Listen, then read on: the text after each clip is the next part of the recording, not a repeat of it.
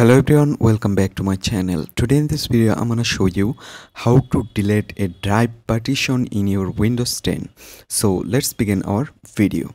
So first of all if you just open your file explorer you can see under this uh, this pc section you can find two options to drive uh, c drive and e drive and if you want to delete uh, this uh, drive from your windows 10 what you need to do in this video i'm gonna show you that.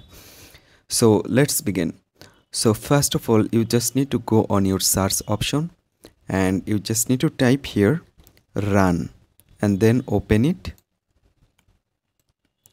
And right now you just need to type here disk mg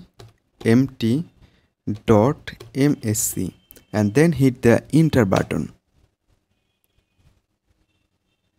Right now uh, you can see this is your uh, volume. This on you just want to delete. So what you need to do you just need to select it and right click on your mouse and you can find the option delete volume. So select it and confirm it. Yes so here you can see uh, this uh, drive is still showing here. It's not removed or deleted.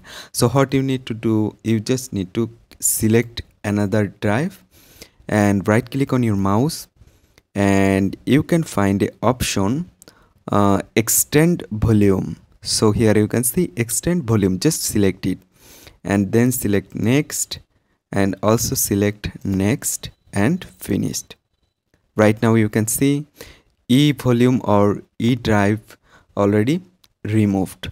So right now if you just open your file explorer again you can see there have only on drive.